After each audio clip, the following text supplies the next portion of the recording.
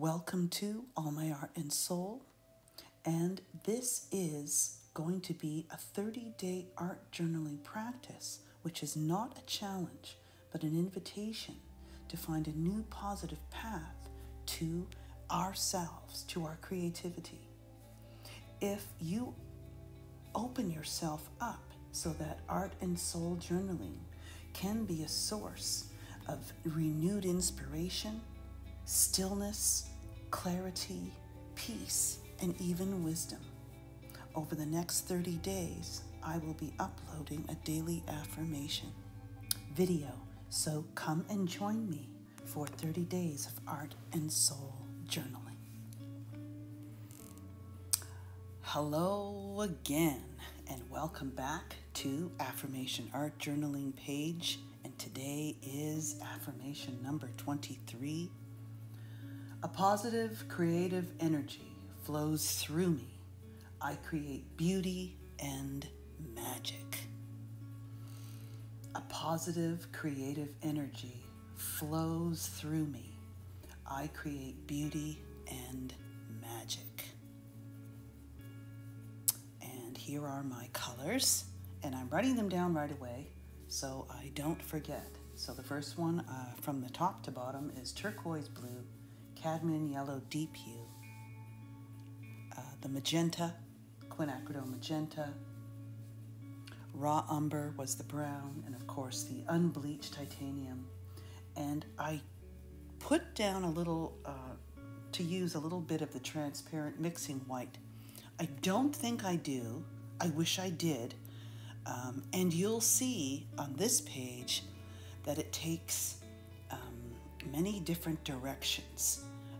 My first intention, along with the affirmation, is to create an all over composition instead of thirds or. Um, and then I thought, okay, quadrants, you know, the four corners. So uh, those two sort of go through my mind. And as you can see, I selected some collage papers that I made from the uh, specifically for this color palette. So they have the quinacridone. And then I think what happens instead of letting it flow, this is where the overthinking comes uh, I don't know so much, it, so much it was overthinking or just a decision that I made uh, in response. It was just a quick decision. I really like that neutral uh, piece of collage that I initially put in. And look how blue it is at first.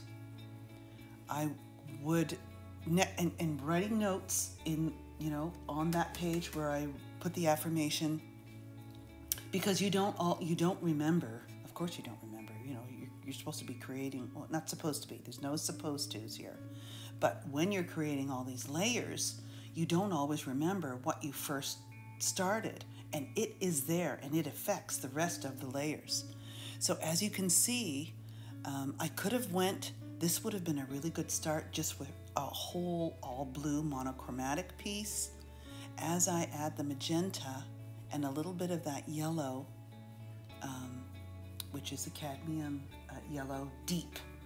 Um, then I get this green. So then I thought, I'm just letting go and I'm playing. This is a great way to play with different uh, color palettes as well.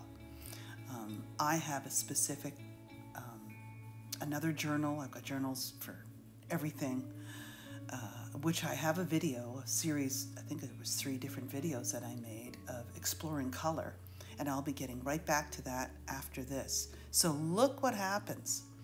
Just making, having fun, not caring if they go or not. And then I'm getting into some shapes, organic shapes. Um, and forcing myself really, not forcing, that's too harsh of a word, just pushing myself away from the color fields just for something different. Now, I really love my color fields, so I will be going back to those. But this is just a really fun piece, and it's so different from the rest of the pages. So stay to the end.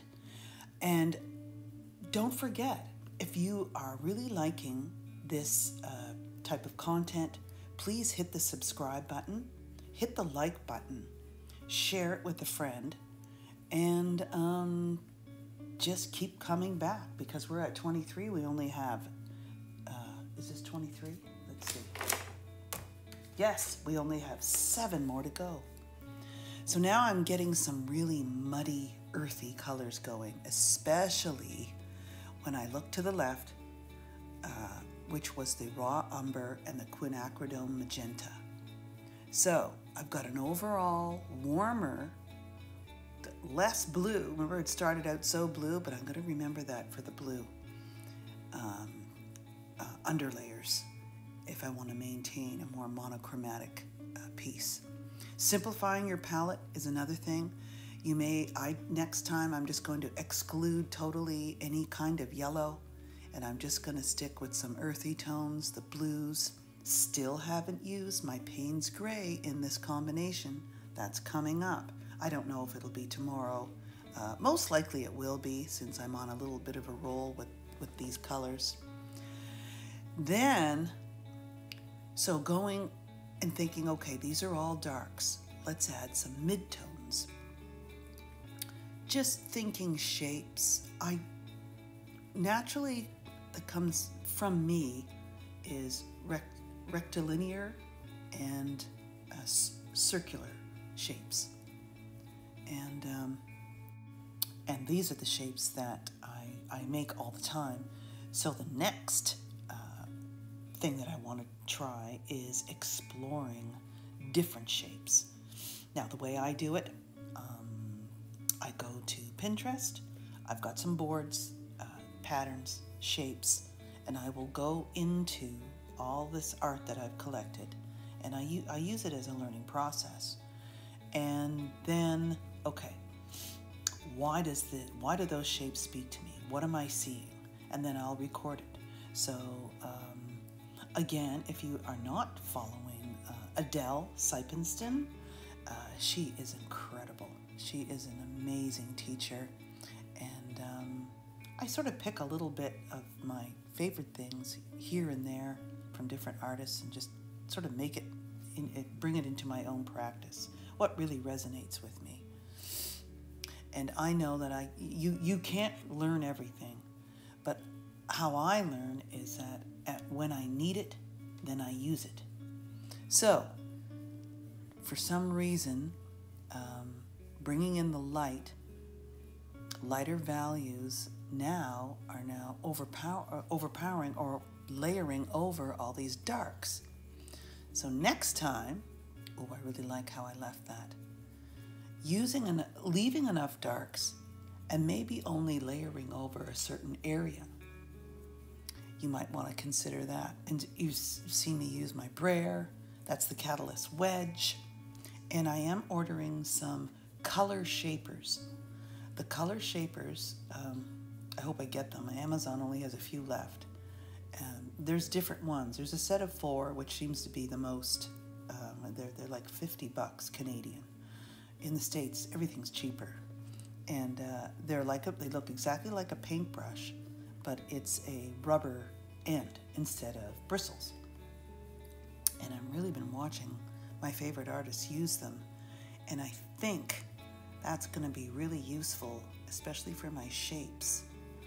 So, thinking um, along the lines of the color wheel, um, really, I, I chose to put this warmer tone in because of the collage paper that I really loved and wanted to include in this piece. So that directed my colors.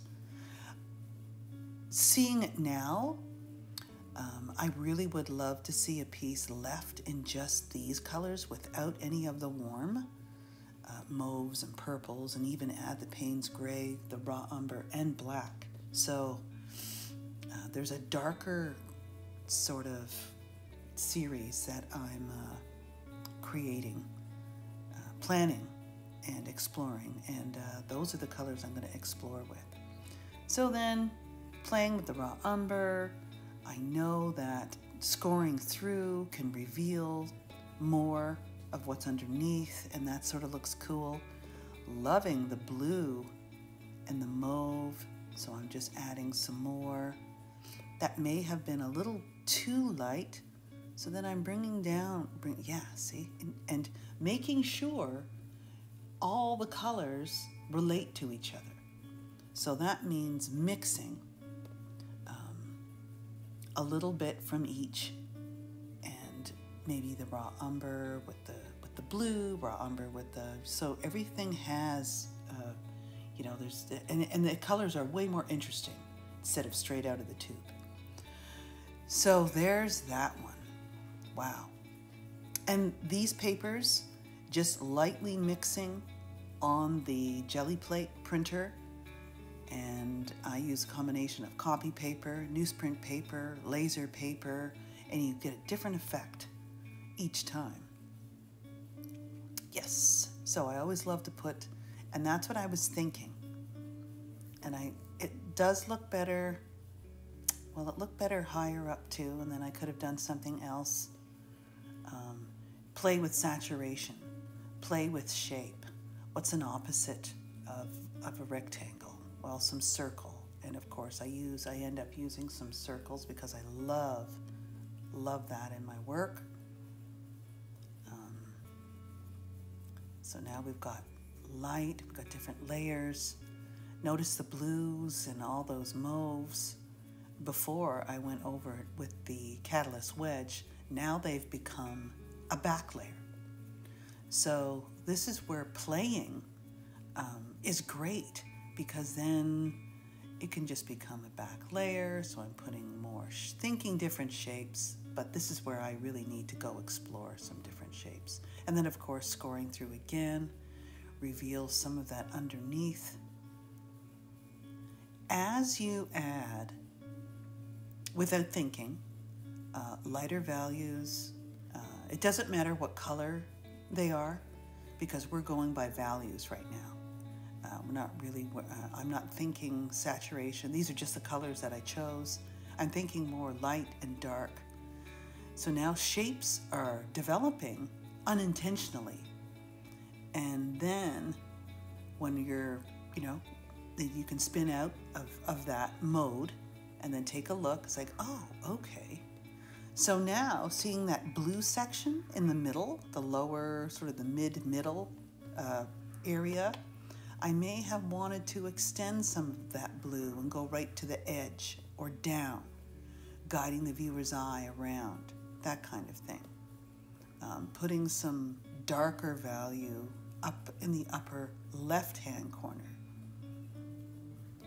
So I like where that paper, yeah, just a little higher and just in getting away from those color fields. Yeah, so this, I really love the layering. So I'm going to really take a note, write a note of how I started those layers, just random. And now I, I pointed to that area because I want more of that turquoise, but in a different way, going on top. Now I'm going to push that warm layer back. So forward, back. And this is, uh, this is just another approach in um, thinking about your layers. And I love this piece in the previous page. So um, giving it a little bit of a corner, relating it to that. Now I do end up, yeah, so I put it up higher because it needed some dark and it's nice to have a pattern up there. So now you'll see this develop more than an all over, then it becomes um, compositionally quadrants. So you want whatever size the quadrants are, there's four quadrants. And uh, Jane Davies uses this a lot, and that's where I first learned about these things. She's always talking about those compositions, and I oh, I just love her work. Uh, if you haven't checked out her work, uh, all the different hearts and the heart shapes, shapes within shapes, oh, it's amazing and and then uh, so intentionally at the beginning you can think of this start with black and white start with different shapes uh, a different shape something going on differently in each uh, of the four sections. And that's what ends up happening here. So then I see it, see it develop, and then I go with that composition and try to re emphasize it, uh, as you can see. So stay to the end. And uh, welcome if you are new here. I think um, some more people are hopping on board, um, especially if you are searching under um, art journaling. Abstract art journaling really is my tag. And um, really love I love that term because it's it's it's so fun. Now, no, doesn't work. Uh, too much of the same. Now, if I did a half circle and I did it in, say, the unbleached titanium or a lighter piece of paper, it definitely would have worked. But what's so great is it's good to know why things are working. And that's what we're learning um, as we go. So, this random piece, I just stuck it there. Okay. Didn't want to lift it because it was already going to tear the paper underneath. Don't care because then I can uh, go around with the blue, and I think that's what I end up doing. I change that shape into another smaller circle or two circles. And sometimes you lose that really nice background that I said I liked, but you know, at least we made a note and to make it stronger next time. Now, I don't know about, I think the placement for this, so now we've got quadrants happening, as you can see. So we've got a circle in the upper one, a patterned rectangle shape, organic shape. Um, the lower left-hand quadrant is turquoise with some dark shapes, and now we've got light. So now we've got some interesting things guiding the viewer's eye around the piece. Love that. Um, some more contrast there. Remember, contrast guides the eye. Less contrast makes it subtle and interesting without interfering with whatever composition you're already using or maybe not noticing yet, right? So then I saw, okay, I love that shape, so I'm going to emphasize that shape. And oh, yeah, there's where I want to put a half of a circle. Love it. So then that area, yes. So it's it's not in the it's sort of in the upper center, but the square, yes. And so I'm adding, emphasizing that color. And then a much larger shape occurs. And I really like that. Now, I don't know if I, oh yeah, I was thinking drips. I used to do so many drips in my paintings, I'm finding I'm not really doing that anymore. Uh, mostly because I'm art journaling and it's a little tricky. Um, I think the best way to have the best drips I've seen artists do is to not use water or just use just enough water on a nice paintbrush, uh, fil- filbert or the pointy one, and um, holding enough of that um, paint in there and then pushing it exactly where you want that drip to go. So you can do one line of drips at a time. Now, I don't know, uh, this is the first time I think I've used acrylic inks in many different ways. I, I sort of went crazy with them because my tray on wheels is right on my left there out of camera. And I thought, oh yeah, let's use some drips and some inks. And I they sit there and they really go a long way. So I went a little cuckoo with the, it's like a raw umber. It's such an earthy. Now, put a little too much Next time, what I'm going to do is use ink on top of a piece of paper like this. Roll it out to see if I like the pattern and then press it with the paper on top of the journal page. So I would do it backwards in this order, but that's okay. We don't care. So, oh man, I messed up my page. Well, not really, because um, what I will do and, and right now it's just like there's stuff all over this page. It's like okay, let's let's do. Uh, so this is like an orangey, copperish color, So I'm just putting, because I, what I'm taking out is some of the, the colors in the collage pages and just giving it some unity. That's a turquoise. I know I have turquoise, so let's have some turquoise ink. Oh, and then there's the spray bottle, and that didn't go very well. Oh, and then another dot from a previous, but that's okay because I can just cover it up. So then I take my hair dryer and uh, first I cover it up. There you go. Done. Gone. And then I thought, okay. So I'm going to dry that. Going to dry it before I deal with it. So I might leave some. It's going to be there. It's going to have a dark, shadowy effect. Um, next time, always in hindsight, right?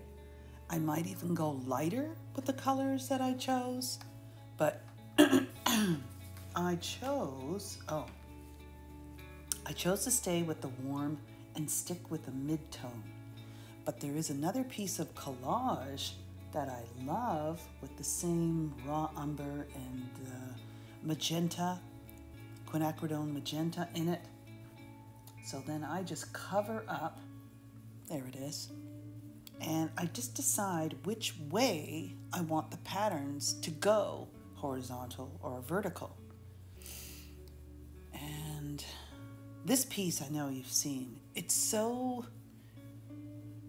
that needs to go in a much larger piece of canvas, which is coming up. There it is. I think that's the one. Yes, it is. Not sure. so, Yes. Mm, it may have worked and then added a stain on the top. Notice I don't want to cover that little rectangular piece. There it is. So, why I chose this piece of collage is that it has that magenta going horizontally across. And I thought that will work. Definitely better. Better than the other, which looked like I'm covering up something. You know what I mean? And I, di- I didn't want that. So I'm just tearing the edges. Yes, yes, yes, yes. That's way better. Cleaning them, I want a nice crisp. Okay, that would have worked. I don't end up covering the whole corner, just a little bit, where most of that dark brown I put down, and leaving, yes, perfect. Okay, so that goes down ends up covering that dark piece, which I end up uh, veiling with a lighter tone anyway. So, and I remember watching uh, artists' videos over and over again to see, okay, they did this next. Why? Okay. Before I understood the layering process. So, if any of you are in that stage, um, just keep practicing with different layers and it'll go, oh, okay. And then you'll build up your inventory of different different kinds of layers and the different combinations and the effects that they make. So just knowing this, so I thought, okay, I'll add, it's such a beautiful, rich tone, that raw umber and quinacridone magenta. It's amazing. So I thought, okay, Need to spread that around. We need some more darks. That's my dark right now, and so I'm going to use it. And I end up putting some turquoise horizontal lines along that little piece that I just added. Beautiful. Okay, so knowing that, when you, when you know that this layer doesn't have to stay this way, but you're present and creating it at the time, it frees you up. It frees you up for allowing, okay, it's great, it's terrible, it doesn't matter. Because what am I going to do next? If I don't like it, it'll be a very interesting underlayer. Wow, look at that magenta showing through now. Whoa. See how this takes a whole new. Um, first, we started off with the turquoise. Then we went into some light neutrals with ochre and unbleached titanium. And now, as you can see, the four quadrants are very different. So I know I wanted something over to push it back. Those natural ones, I could have used the uh, hexagons. That would have been interesting too. But I like my lines, I like my zigzags, so I chose those. This would have worked as well, the circular one there, the geometric circles. So I thought, okay, to create unity in this piece, we need some some warm ochery neutral tones up top, but they're much darker than that collage piece.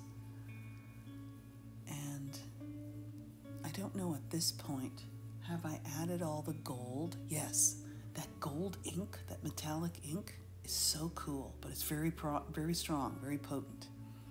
So, now I'm really emphasizing the different quadrants and then bringing up the saturation in different areas.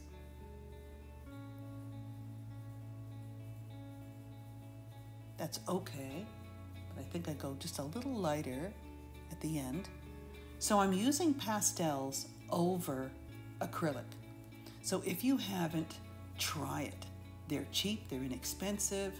You can choose pastels that are very similar to the color that you're, you know, that's in the background so you can add subtle marks and oh, really fun way. So, knowing that I use the dots below in turquoise, I just wanted something uh, just to push uh, those darker uh, blobs or the, the ink that I use that I overdid. yeah, and notice this this journaling page is a lot longer because I just totally let go and forgot about time. And here comes the pastels. Now, this is a pinkish mauve, this is a mauve or violet, and really liking the contrasts. And of course, my, my broken lines, either, uh, I use mostly vertical ones. Really liking that, guiding the eye. So now it's bringing that eye down. I love how they contrast with the uh, turquoise in the middle there, which seems like this arch shape sort of happened. And I didn't even notice it until the end. And, and that's, that's, that's a good thing. Because in the end, oh, okay, look at that.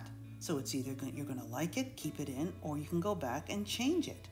I could have I could add turquoise to the right of it to make it more of a long rect, rectilinear shape that sort of goes into that that neutral, that ochre, and then comes down. There's so many ways you could have could deal with this.